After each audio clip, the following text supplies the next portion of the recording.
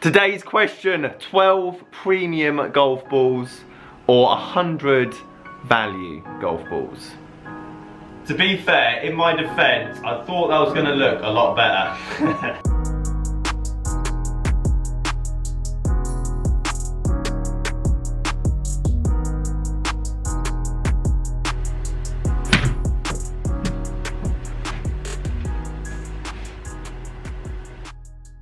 Guys, how are you doing? Welcome back to a brand new video. Simon down here at Burford Golf Club. The biggest question I always get is, Simon, what's a good value golf ball? Simon, what golf ball should I use? Simon, how do I stop losing the golf ball? That's a different question altogether. But today we're going to talk about the same price for 12 balls. And I know some of you guys say I can get Chrome Soft for 26.99 off. Just humour me, alright? Premium golf balls for about 40 pounds for your Pro V, your Srixon Z Star, your TP5, your Chrome Soft, whatever it might be, versus 100 lake balls for the same price. I got these lake balls off Amazon Prime for 39 pounds. Good value. Let's talk about it. And one thing I should make very clear at the start of this video is that I'm a professional golfer, well, let's say professional. I can hit the ball reasonably well, and even at my level, there are only very minimal changes from golf ball to golf ball. The majority of manufacturers, Titleist, and Callaway, will even state themselves between their cheapest ball to their most expensive golf ball. There's not much in it. But obviously if you put a lot of time and invest into the game and spend quite a bit of money on your golf course or your membership or your golf clubs, then you should be getting a golf ball that suits your game. It only makes sense. However, what golf ball should you be using at the stage of your game? Who should be buying the lake balls? Who should be buying the premium golf balls? That's what we're going to look at. Sorry, I forgot to do the shameless plug at the start, so if you wouldn't mind just hitting that like button, subscribing if you're new.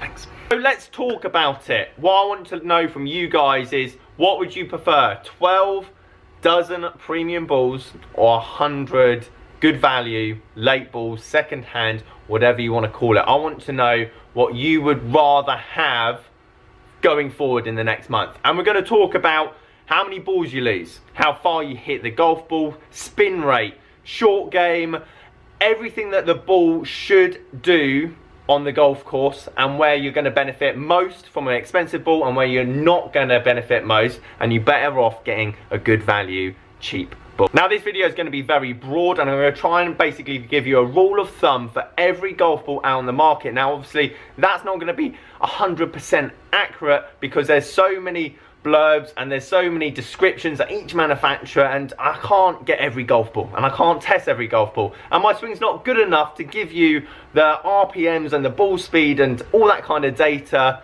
over and over again. However, what I can do is give you a simple guide to choose a golf ball for you. Number one word you need to know today is compression. And the easiest way to know a compression of a golf ball, this isn't always the case, but the compression of a golf ball is the cheaper the ball, the lower compression, the more expensive the ball, the higher the compression. Why no one's ever stated this before, I have no idea. It took me a good seven years into my like golfing career playing, doing my PGA to actually understand what compression is and I'm going to make this very simple. And again, obviously I'm talking very broadly, but softer the compression, i.e. the cheaper the golf ball. Now, obviously these are lake balls, but they're still the cheaper version of the lake balls. They're not, I think there's a few premium ones in there, and we'll get into that in a minute, but they're all relative super softs, DT TruSofts, soft feels, they're that kind of lake ball. So they're going to be soft compression. And when I say soft compression, that is 80. Do you need to know what 80 means? No. But what you do need to know is the softer the compression, the more the ball's going to spin, especially with a driver and your irons, which isn't a bad thing by the way, especially if you don't hit it past 200 yards off the tee. But also softer compression means that ball's going to disintegrate a lot quicker than a premium ball. Harder compression means that it's going to last longer as well as off the tee, more importantly, it's going to spin less, i.e. the ball goes further. Let me get into more detail. So you hit the ball 200 yards off the tee. Therefore, you should buy soft compression golf balls. Basically, any brand new dozen set of balls, 20 pounds or less.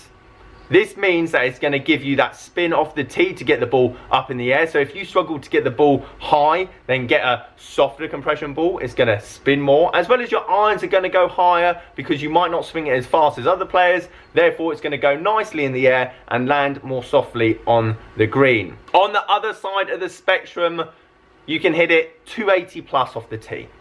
A harder compression ball, your Pro V1, your Z Star, whatever it might be, it's going to spin less off the tee. Therefore, it's going to go further and not balloon into the air. Cheap ball spins more, harder compression spins less off the tee. General rule of thumb, not blanket statement for everything, however, general rule of thumb. It also means you don't need help getting the ball to stop on the green because you're hitting your 7 iron 160. It means you're hitting your pitching wedge 100 yards. Also, the more expensive the ball, the more layers. They put more technology in trying to get that spin and control around the greens. Again, if you're only hitting it 200 yards and you're hitting a 7 iron 110 for example, no matter what coating you put on that ball, you're not going to be able to check it and stop it back. It just defies the law of physics. General rule of thumb, that's the idea. Soft compression balls, more expensive golf balls. Hopefully that makes a bit more sense. So now we understand the spin rate idea between soft compression and high compression. Let's talk about it breaking, splitting, busting open. A super soft in here will last about 100 hits before it basically splits and cracks straight open. Whereas a Pro V, 500 hits in here and you barely see a blemish on it.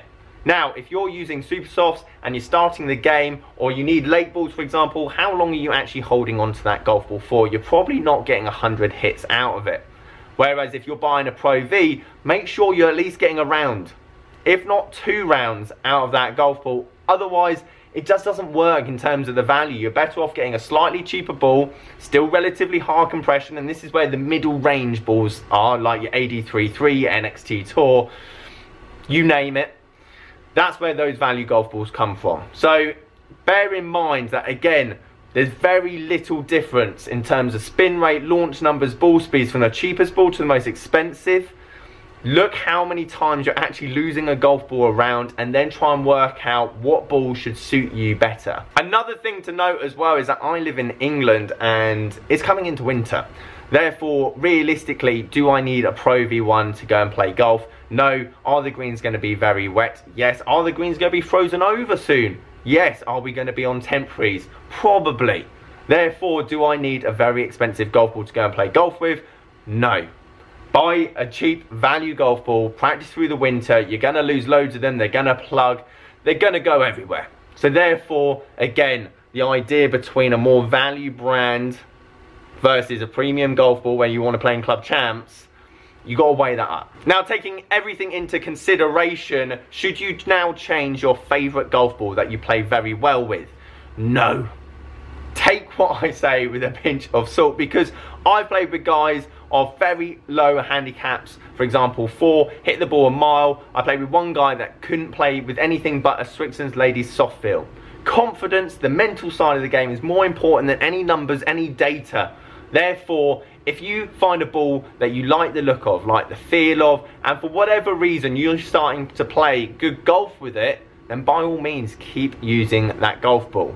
All I want to do is highlight the highs and lows of a cheap ball versus an expensive ball so you can make a more educated guess if you did want to change. Okay, quality test let's have a look what we got in the box. Well, I need to put them back in the box. But once they're back in the box, let's have a look at what we got. What's the condition like? Um, and what golf balls did we get in the value box?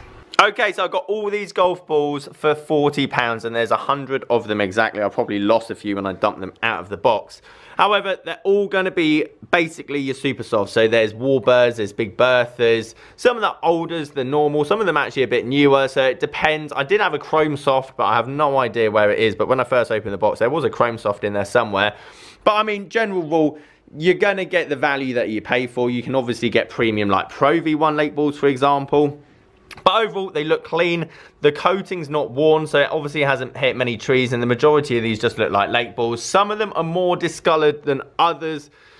again, I'd have to do more testing to know whether they actually make any difference um, uh, in terms of compression and spin and ball speed. And that's definitely a video we can do. But overall, again, this is like your super soft. And I'm pretty sure the Hex or the HX, they're the more premium balls. Um, uh, so again, you're going to get a rough mix. But as I said, if you're just beginning the game, this is the way forward compared to that. And then as you get better throughout, whether you still go use lake balls or you go new balls but soft compression, for example, these ones, or you need to go down the higher compression route, that's something that obviously you need to have a look at. Okay, so I'm gonna hit three seven irons to try and prove my point. Warbird, which I'm pretty sure was a cheap value golf ball, against a Chrome Soft, and I'm gonna swing them. I'm trying to go pitch my seven iron at about 100 yards to kind of prove what I'm saying. Let's do it.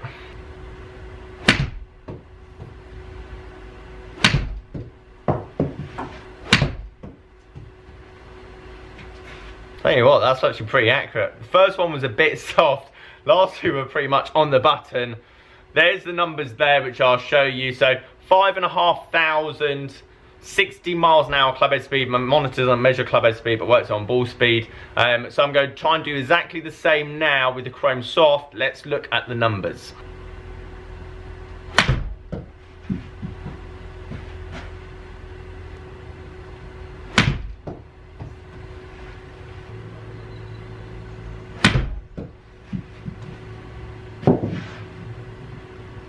Okay, so there we go. That's as accurate as I potentially could get hitting a 100 yard 7 iron. Now, the reason the Super Soft was better, you saw literally the ball going high. Now, the launch angle was this pretty much the same, 0.6 on average between the two of them. So, in terms of launch angle, I wasn't trying to hit it low or hit any higher or hitting any faster. I hit the Chrome Soft slightly well, actually, on average, I did. Oh no, the first one of the cheap one, I should say, was actually a bit low, so I probably should take that out. But I hit the super soft or the soft compression ball slightly harder now. I could have just swung the club faster. As I say, my 100 yard 7 iron pitch shot isn't um, my strongest part of my game. But I mean, they're close. I mean, within a couple of miles an hour of each other. And again, I want you to look at the data. There's not a massive amount between the both of them, but there is a difference. So again, we look at the expensive ball, it spins less from that distance with a 7 iron from 100 yards. Whereas if I had done that with um, uh, a super soft, or if I'd hit that from 160 yards, it's going to spin more and it's going to stop, obviously. And it's finding that right level of ball for your club head speed. That's all I'm trying to say. 5,600, you saw a higher ball flight with the cheaper ball. So even though you might feel it feels cheaper and it feels like a rock or a pebble, whatever you might want to call it, it's actually going to give you more of a chance of carrying that bunker. It's going to give you more of a chance of stopping it on the green when it lands and you're getting more carry out of it. Whereas again, with the expensive ball, lower ball flight purely because that spin is... I think the main thing you should take away is don't base your golf ball on your drives. Because the expensive ball, because of the lower spin rate, is always going to go further as long as you launch it high. However, that's 14 to 16 shots through the entire round of your game. Therefore, base your ball on your short game, your wedge game, and your mid irons. If you hit 100 yards, 7 iron, I've just shown you, even with a lake ball that's been sitting in water for two years, is actually going to perform slightly better for you than an expensive ball. If you swing it fast, then let's be honest, you're going to get something out of it. However, we're still talking fine margins. We're talking 600, 700 revs of backspin. We're talking another couple of yards of carry. Again, pick a ball that suits your whole game, not just your long game. Guys, thank you ever so much for watching. I made it quite brief. I made it very broad. If you have any questions, please leave them down below or any suggestions you want to see in the future in terms of ball testing. But yeah, I think I got that all off my chest. I hope that made sense. See you guys later.